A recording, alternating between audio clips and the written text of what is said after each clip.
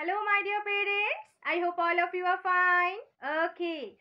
So, my dear parents, আমি আজকে আমাদের সেমরো কার্ডসদের মাই প্র্যাকটিস বুকের থার্টি সেভেন নাম্বার পেজের অ্যাক্টিভিটি করাবো হুম সো তার জন্য দেখুন ঠিক এই রকম ভাবে ফার্স্ট লাইনে আপনাদেরকে পাঁচটা লোয়ার কেস আই লিখে দিতে হবে হুম আপনারা এইরকম ভাবে পেজটা রেডি করে দেওয়ার পরে আমাদের সেমরো কার্ডসরা তাদের অ্যাক্টিভিটি করতে পারবে সো মাই ডিয়ার পেরেন্টস আপনারা কাইন্ডলি এই রকম পেজটা রেডি করে দেবেন okay okay now my dear Shamrokites tell me how are you all doing I hope all of you are doing great right yes so my dear Shamrokites do you know what we will do today hmm today we will practice writing our lowercase letter okay আমরা একটা লোকেস letter লেখা practice করব।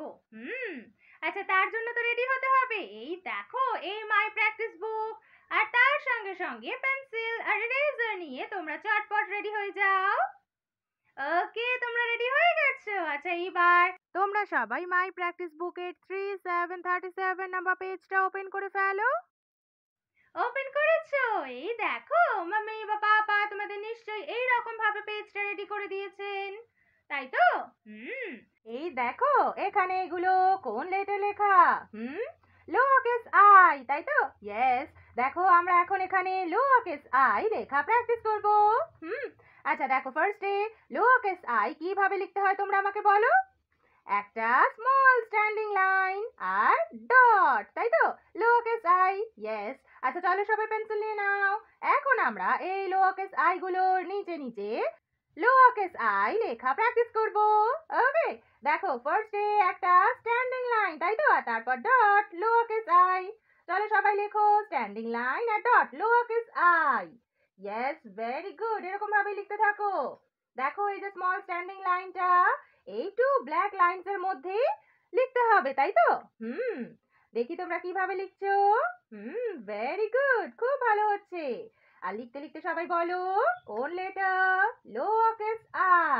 Yes very good এই রকম ভাবেই আমরা এখন এখানে লো লোকেস আই পুরো পেজটাতেই লিখে নেব।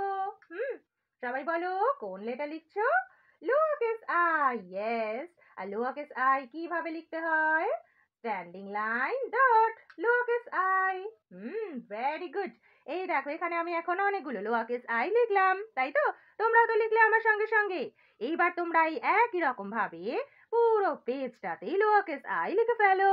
ওকে সো মাই ডিয়ার শ্যামরকার্স তোমরা তো এখন একটা লোকেস লেটার লেখা প্র্যাকটিস করলে, তাই তো? হুম, এইবার কি করতে হবে? এই পেজের একটা ফটো গুগল ক্লাসরুমে সাবমিট করার জন্য মাম্মি বা পাপা কাউকে রিমাইন্ড করে দিতে হবে, তাই তো? হুম আর বাড়িতে আবারও ওই লোয়াকেস লেটার লেখা প্র্যাকটিস করতে হবে। হুম, সবাই প্র্যাকটিস করবে তো? Yes very good so my dear Shamrokites our lesson is over